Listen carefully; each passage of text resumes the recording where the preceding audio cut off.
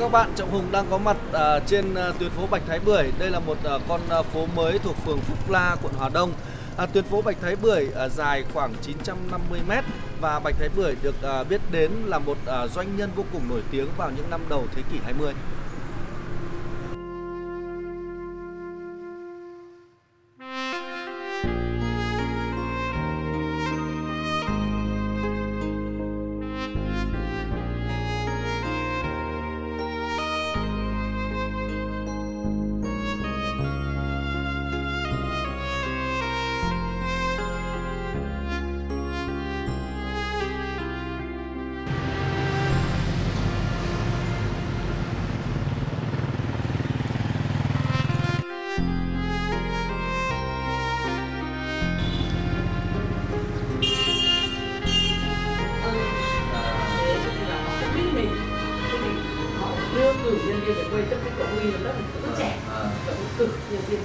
Để có trưởng về quê là bà ngoan.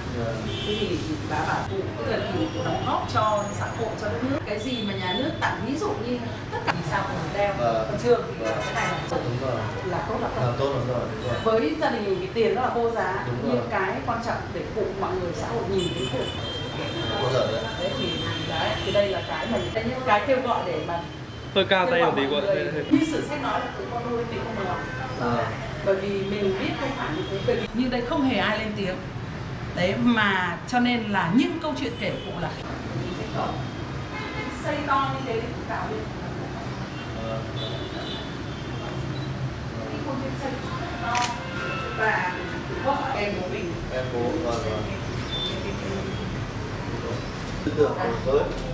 Và nó bảo là chị ơi chị lấy cái ngày này và pháp nó công nhận và nó công nhận cụ được đeo huân chương bắt đầu biểu tình này.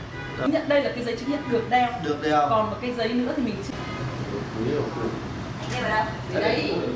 xong chưa? Nếu anh xong anh xong rồi thì bây giờ lại. Không ai không? Không ta bảo là không có ai cái việc.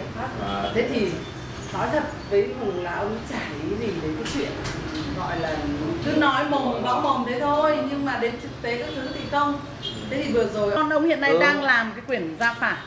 Nói thật là nó còn bảo chứ chị ơi. Ông xúc động, ông khóc. đấy kiểu như thế về tâm linh thì và sau đấy thì lụt ở Quảng Ninh. Ừ. thì chưa bao giờ người ta bảo cảng cao nhưng chưa bao giờ nước ngập cảng đấy thầy cao kia là nhà mình là gia đình nhà Ông mình. không có chứ đấy. Làm mình. Nói thật là mà nó chỉ có mỗi nguyện vọng là em về thì em chỉ đến mộ mà cả hình ảnh của cụ cũng như là tấm gương của cụ. Cho không chỉ là con cháu với chi làm giàu, không chỉ là con cháu trong gia đình, mà còn với với xã hội. Bởi vì trước đây cụ tôi thì khi mà còn sống là cụ luôn luôn mơ ước, tức là Hà Nội được đẹp như Paris. Cho nên là khi mà hình ảnh cụ tôi trở lại ờ, như là một tấm gương tiêu biểu cho xã hội cho con cháu thì đó là một cái niềm vinh dự của gia đình nhà tôi.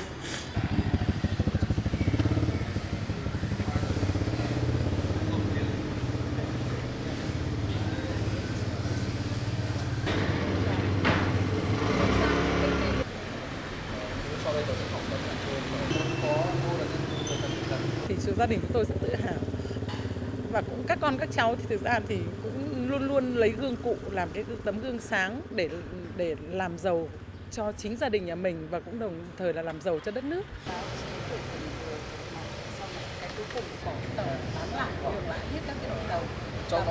trong bốn người giàu giàu nhất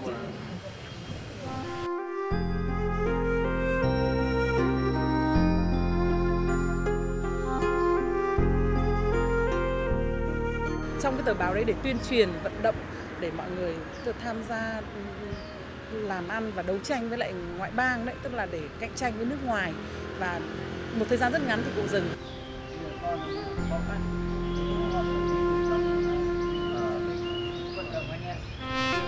Thank you.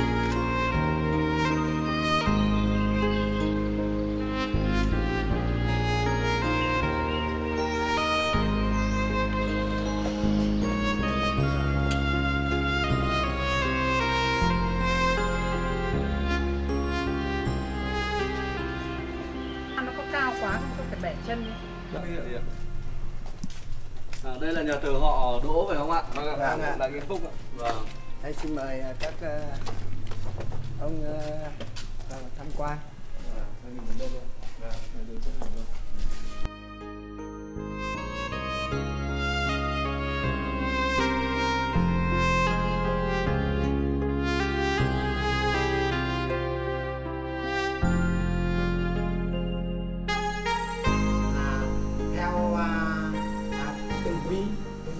con dân ở trong trong trong tổ dân phố.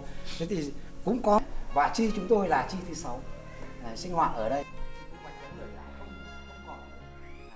Phả hệ của chúng tôi còn lưu tại tại nhà truyền thống. Thì đời cụ Bạch Thái Bưởi là đời thứ sáu.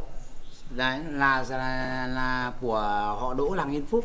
Là đến bây giờ thì chúng tôi gần như cũng mất liên lạc với cả cụ Bạch à, họ à, chi cụ Bạch Thái Bưởi là bởi vì là cụ sinh sống và làm ăn ở phía ngoài nhưng cũng là một cái nhân duyên là do một dịp vào cuối năm chúng tôi lên thắp hương các cụ. Thì đây là có ông Vinh.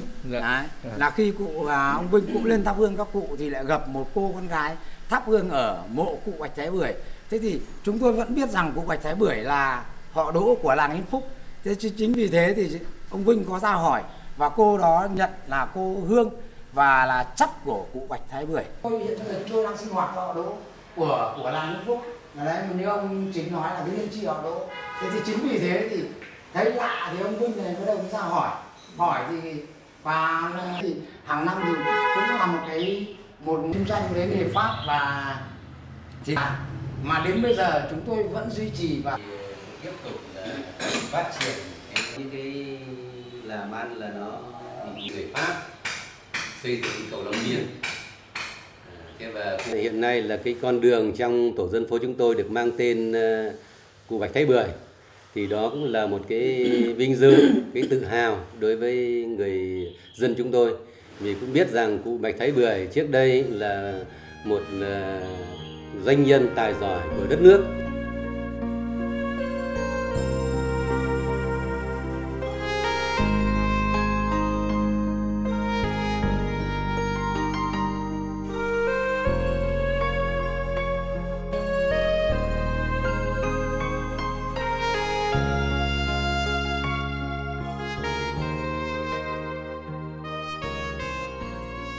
Báo cáo với anh là cụ Bạch Thái Bưởi sau khi đã thành đạt cụ quay về quê hương xây dựng à, hai cổng làng cho quê hương chúng tôi.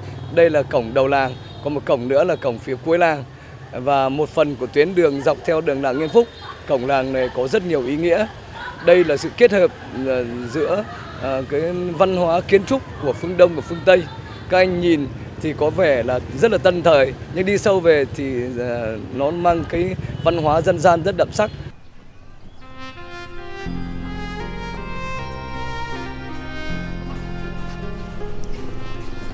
À, thưa quý vị các bạn, nằm uh, cuối phố Bạch Thái Bưởi là đài tưởng niệm liệt sĩ. Nơi đây đang ghi danh những liệt sĩ có công với đất nước trong cuộc kháng chiến chống Pháp và Mỹ.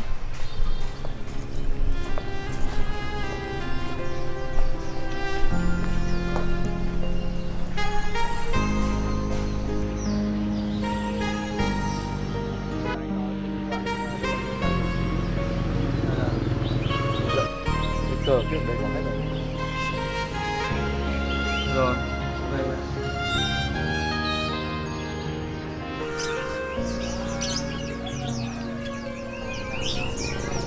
vị và các bạn thân mến, nằm trên ờ, phố Bạch Thái Bưởi này thì có khoảng 200 mét. À, những cái người dân ở đây thì ờ, kinh doanh những ờ, nguyên vật liệu phục vụ cho thú chơi chim cảnh như quý vị có thể nhìn thấy.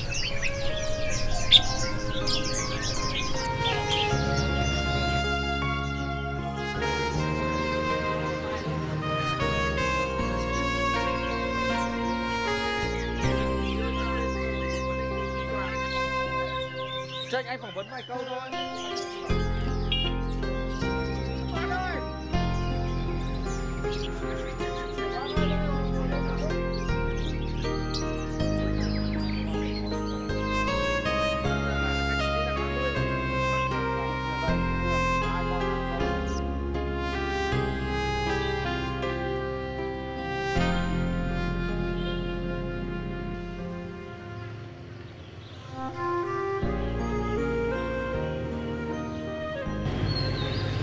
Tôi người dân ở đây thì cũng ý thức được cái việc uh, uh, vệ sinh an toàn thực phẩm và thứ nhất là được cảnh quan môi trường ở đây nó cũng xanh sạch đẹp để để quý khách uh, đi qua có thể thưởng thức và khi vào ăn bún đậu mắm tôm với tôi.